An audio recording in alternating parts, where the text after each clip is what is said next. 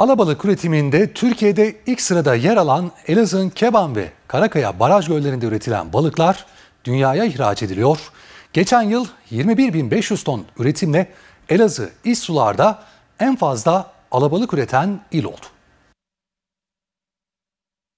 Elazığ'ın Keban ilçesindeki Keban ve Karakaya baraj gölleri üzerinde yer alan tesislerde üretilen balıklar dünyanın birçok ülkesine ihraç ediliyor.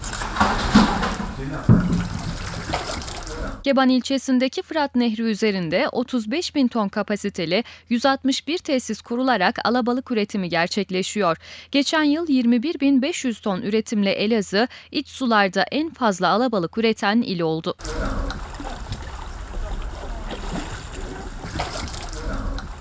Kuluçkahanelerdeki yumurtalardan yavruya dönüşüp üretilen alabalıklar Rusya, Almanya ve Japonya başta olmak üzere dünyanın dört bir tarafına ihraç edilerek 98 milyon liralık döviz getirisi sağlanıyor. Ayrıca son iki yıldır alabalıktan üretilen somon balıkları da insanların sofrasına ulaşıyor. Alabalık Üretim Tesisinde incelemelerde bulunan İl Tarım ve Orman Müdürü Turhan Karahan, balık üretiminin kalitesi ve sağlık üzerindeki etkisine değindi. 161 civarında kurulu 35 bin ton kapasiteli üretim tesislerimizde geçen sene itibariyle 21.500 tonluk bir üretim gerçekleştirerek yine Türkiye'nin birinci sırasında yer alan kalitesiyle ve sağlık üzerindeki etkisiyle gerçekten önemli bir üretim. Dolayısıyla bizler de bu su kalitesini ve kapasitesini dikkate alarak tarım ve orman teşkilatları olarak bizler bu üretim miktarını arttırma, kaliteyi arttırma noktasında her türlü çalışmayı yürütüyoruz ve bu zor şartlarda bu üretimleri gerçekleştiren üreticilerimize teşekkür ediyoruz.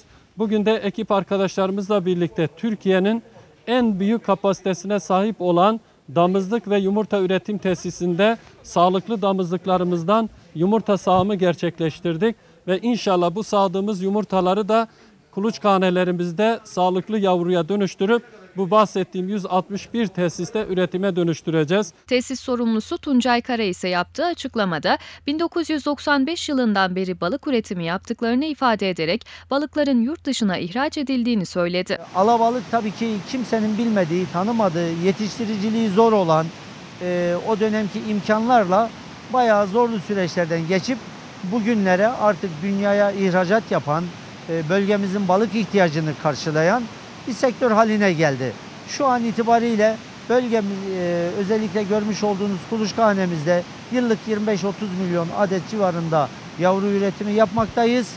E, bu yavrularda hem kendi şirketlerimizin ihtiyacını hem de bölgemizdeki balıkçıların ihtiyaçlarını, yavru ihtiyaçlarını karşılamaktayız. Bu ürettiğimiz yavrular yetiştirilmesi yapılmakta ve bu doğrultuda da e, yurt dışına özellikle Almanya merkezli olmak üzere Avrupa Birlikleri ülkelerine ihracat yapılmaktadır. Bu ihracat doğrultusunda bölgemizde 1500-2000 insan istihdam edilmekte. Bu 5000'lere 10 binlere çıkabilir. Ki tabii ki ülkemizin ekonomik durumları pandemiden dolayı gelen bir yıldır sıkıntılardan dolayı iki yıldır yaklaşık sektörümüz durağan durumda gitmekte. Ama e, yakın zamanda inşallah da pandemi de bir an önce ülkemiz ve dünya açısından biter. Bu doğrultuda yatırımlarımıza devam edip e, ilimizin ve bölgemizin balık ihtiyacını e, karşılayıp bu doğrultuda e, ülkemize hizmet etmeye devam edeceğiz nasip olursa.